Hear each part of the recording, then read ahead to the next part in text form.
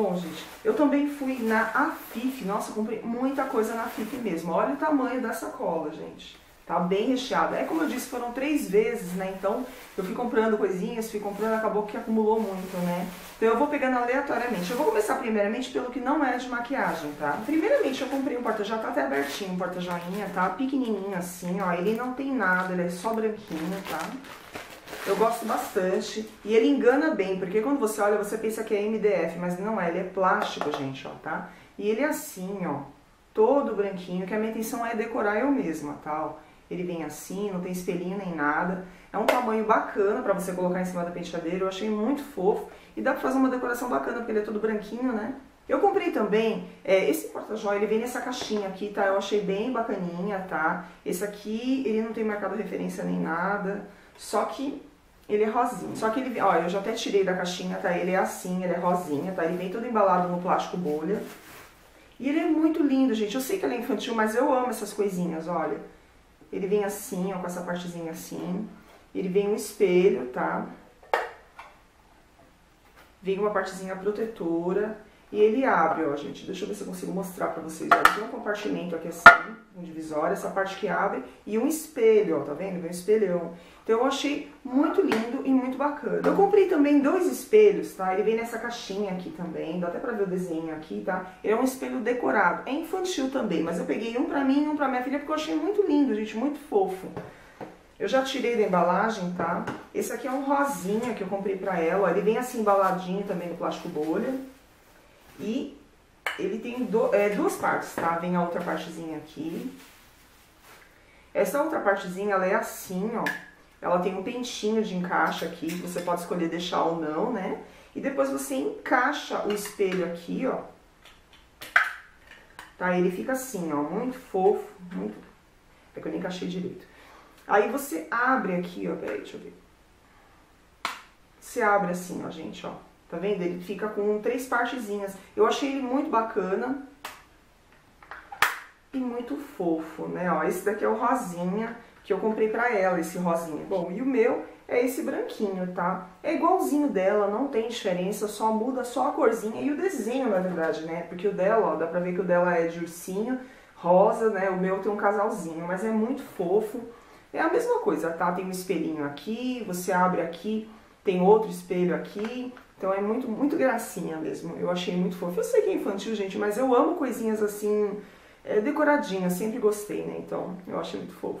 E tem só mais dois itens que não são de maquiagem, tá? Um é esse pentinho aqui que eu comprei da Rica, tá? Eu achei muito fofo a minha filha, ela quebra muito o cabo do pente, né? Então, eu achei esse bacana que ele não tem cabo. então, eu achei muito bonitinho, né? E a ponta dele é fininha, então eu achei bacana. Comprei também esses dois stickers, né? São branquinhos, tá? Na verdade é pra mim decorar, que eu tô querendo fazer alguma coisinha com essa caixinha. Então eu pensei nos stickers, que são bem facinhos, né? Esses daqui e os espelhados, que eu também tenho aqueles espelhinhos de colar que eu acho bacana. Então eu vou usar pra decoração. Bom, agora de maquiagem, né? É, eu comprei esse kitzinho de sobrancelha da Bella Femme e tal. Esse daqui eu achei diferente, porque eu tava vendo muito uns que eram só duas sombras. Esse tem três. Olha, é bem facinho de abrir aqui. Ele vem um pincelzinho aqui, tá? Mas o que eu achei interessante foi a sombra, ó. Ele vem três sombras, ó. Vem uma preta e duas marrons. Eu achei bem bacana. Dá pra você fazer misturinhas, na verdade. Não é bem um preto, é um marrom bem, bem, bem escuro, quase preto, quase preto mesmo. Mas eu achei bacana a gama de cor, né? Aliás, eu nem vi a pigmentação. Ai, tem uma pigmentaçãozinha bacana para uma sombrinha, né, desse tipo. E são foscas, né, porque é pra sobrancelha, então eu achei bem bacana. Eu comprei três esmaltes que são da Juliana Paz, são lançamento, tá? Eu comprei três cores, olha, vem a embalagem muito linda, tá? Esse daqui eu achei lindo. Ele é o Selvagem, tá? Ele é um tonzinho de marrom meio dourado, ó, muito lindo, ó. Não sei se dá pra captar a cor, ó, lindíssimo. O outro é o Sofisticada que também é uma cor diferente, tá? Que é um marrom com fundo bem avermelhado. Eu não tenho nenhum esmalte dessa cor, acredite se quiser. E o outro é o elegante, esse aqui é um nude, tá? É até um nude comum, mas eu achei muito lindo, meio acinzentado. Da Top Beauty eu comprei um só, que foi esse amarula, tá? Que ele é um tom de cinza, mas um cinza bem bonitinho, então eu achei bem bacana. Comprei dois lip balms, tá, de balinha, eu achei muito fofo. Comprei um pra mim e um pra minha filha, tá? O rosinha é meu, esse aqui é dela, né? Então o dela tá fechadinho ainda. E o meu eu já abri, ele é assim, ó. Olha que gracinha. Eu achei muito fofinho, então comprei. Comprei um lápis preto, tá? Da, daquela linha da Fenza, da Barbie. Eu achei muito bacaninha. Ele é em gel, tá? Eu já abri, né? Porque eu não aguentei de curiosidade. E ele é assim, ó. A embalagem é muito lindinha, tá? A pontinha dele é assim. E ele é bem macio. Só que eu não achei ele tão preto, tá? Eu achei que ele é, ele é tipo gel, tem uma textura em gel, mas ele não chega a ser tão pigmentado, ó. Bom, e eu comprei quatro lápis, ó. Desses daqui que são jumbos, tá? Da Fenza, tá? Bom, os, alguns já estão até abertos, tá? Eu comprei duas cores iguais, porque um é pra minha filha, tá? Ela adorou a cor, aí eu comprei outro igual pra ela, ó tá? O meu tá até abertinho já. Que é esse daqui, ó. A corzinha vem escrita aqui atrás, tá, gente? Tá marcado tonalidade amarante, que é um vinho, né? Muito lindo, ó.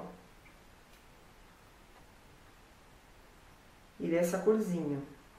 Achei muito linda a cor. O outro é esse marronzinho aqui, que ele tá marcado como brown.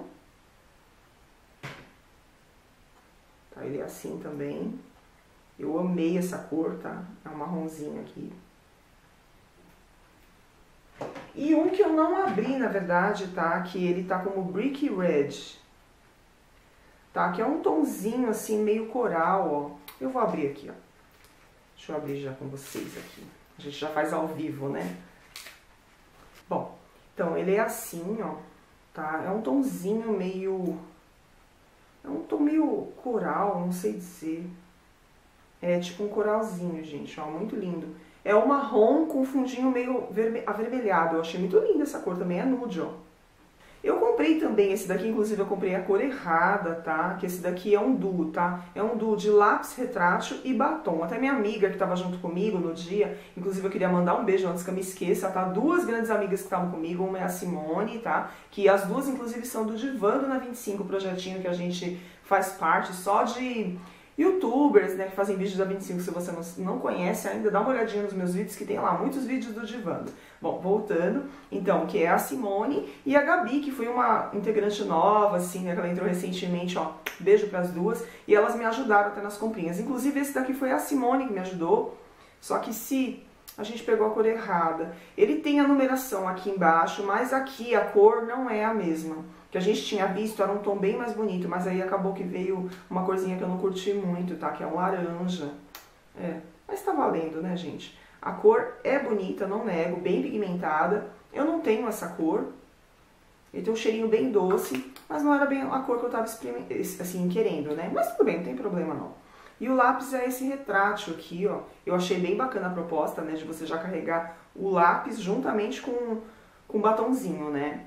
A pigmentação dele é ok, não vou dizer que é aquele lápis preto, assim, mas quebra um galinho, né? Eu comprei uma máscara de cílios também da Playboy, que eu acredito que seja lançamento, tá? Que é essa daqui toda cromadinha. E, gente, eu achei uma coisa muito interessante nela.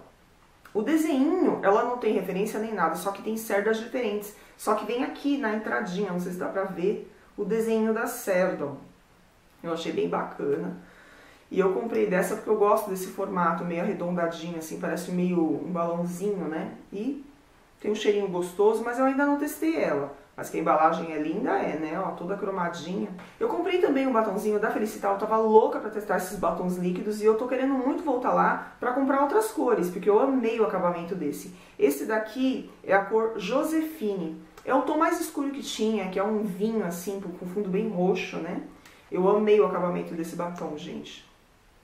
Então, além de ter um cheiro delicioso, né? E seca, que é uma maravilha, ó. É esse daqui, ó. Eu amei, amei, amei. Eu tô doida pra voltar lá pra pegar as outras coisas. Infelizmente, o dia que eu fui lá, a FIF que vende é só aquela pequenininha que fica em frente ao Shopping 25. E infelizmente estava fechada, né, para balanço no dia. Eu comprei um, voltei para comprar outro, não estava fechado. Então eu vou voltar lá para comprar outros, mas eu amei. Bom, eu comprei duas paletinhas que são super lançamento da Fenza também, que a Fenza lançou muita coisa recentemente, né, que são essas duas aqui, são lindas. Bom, uma é essa daqui, né, ó, que é um... Aqui tá marcado como paleta, paleta sombra básica Fenza Makeup, tá? Ela vem Cinco cores, tá? Lindíssima. Ela é assim, uma paletinha bem simples. Eu já tirei aqui, gente, porque na verdade eu já usei. Eu até usei ela pra fazer essa maquiagem. Eu acho que não vai dar quase pra ver, ó. É porque infelizmente acho que não vai dar pra ver assim, nítido, né? E eu usei essa corzinha amarela aqui pra iluminar o cantinho. E eu usei essa outra sombra, que ela é meio fruta cor. Eu achei linda essa cor. Inclusive, essa corzinha inclusive foi a minha amiga Simone que falou, tá? É, eu não tinha me lembrado, eu olhei e falei, nossa, essa cor me lembra alguma coisa. Aí ela falou, ah, é um pigmento da Dylos, que inclusive também tem uma sombra da MAC. Um pigmento da Dylos que ele, ele é marrom com alguns brilhos assim meio esverdeados, dourados, um fruta cor assim muito lindo, né? Eu gostei dessa paleta, mas eu tenho que confessar uma coisa, gente, ela faz muita sujeira. Ela assim, na hora que você vai aplicar, tem que ser com aqueles pincéis de esponjinha e mesmo assim vai fazer bastante sujeira, porque ela é, esfarela bastante, é uma paleta que esfarela, esfarela muito mesmo, tá? Essa foi, esse foi o único ponto negativo dela, porque tirando isso ela é linda e muito pigmentado, ó. Eu achei lindas as cores. Essa cor aqui é maravilhosa, ó. Só que essa daqui é a que mais esfarela, gente. É lindíssima. Eu usei ela hoje, então ela esfarelou pra caramba, mas é linda. E a outra paletinha é essa menorzinha, esse quartetinho aqui, que é um quartetinho bem compacto, né?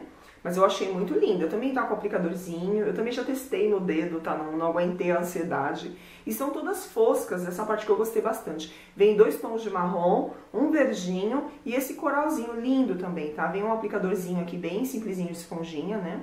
Olha, e ele é muito pigmentado, tá? Eu gostei bastante. Olha, bem pigmentado, tá? Eu não sei se esfarela, porque esse eu não testei. Eu testei só o outro. Eu acho que, pelo fato da sombra ser meio assim 3D, ela esfarela bastante, tá? Mas esse aqui eu ainda não testei. Eu comprei também uma paletinha dessas compactas da Luisans, que eu achei muito linda a cor, tá? A minha na referência A. Deixa eu abrir aqui pra vocês. Ela vem assim toda embaladinha, tá, gente? Aí a gente tira isso aqui. Ainda tem um plastiquinho protegendo a tampinha, tá? Que eu acho muito bacana. Vem um outro plastiquinho aqui, nossa, bastante proteção. Tem um pincelzinho bem fraquinho, na verdade, né? Vem um espelho aqui. E vem essas cores, gente. Vem dois blushes aqui, né? E essas sombras que são, assim, acetinadas. Elas não chegam a ser mate, mas são acetinadas. Eu gostei bastante da gama de cor, né? É uma paletinha bem compacta para você carregar, né? Então, os blushes, eles têm uma pigmentação muito bacana, ó. E as sombras também, eu gostei bastante. Olha. Tá? Esfarela um pouquinho, mas quando você quer levar na necessaire um kitzinho desse que já vem com blush e sombra, esse aqui é bem bacana. E por último, e não menos importante, o super lançamento da Playboy, gente. É esses dois aqui, que eu fui correndo, logo que eu vi assim que lançaram, eu fui lá correndo pra comprar, porque eu pirei, né? Primeiramente, essa daqui, ó, que é a paletinha. Eu nem fechei, gente, porque é meio ruizinha de abrir, tá? Mas ela vem assim, ó, vem assim fechadinha, tá? E ela é aquela paletinha que é de latinha, perfeita, maravilhosa, gente, ó, ela é assim, tá? Ela lembra muito, muito, muito as Nakeds mesmo, tá? Olha que linda, ó, é um luxo essa paleta, ó, toda de latinha, tá? Atrás ela vem assim, ó, vem com a coelhinha da Playboy e tal. Ela só tem uma cor, não tem variação de cor, tá? Só tem essa daqui mesmo. E ela custou um pouquinho caro, mas eu acho que é por causa da embalagem, que a embalagem é linda, gente. Lindíssima, ó. Então aí na hora que você abre aqui, ó, tem um espelho aqui, tá? Ela vem com, deixa eu tentar mostrar pra vocês aqui, ó.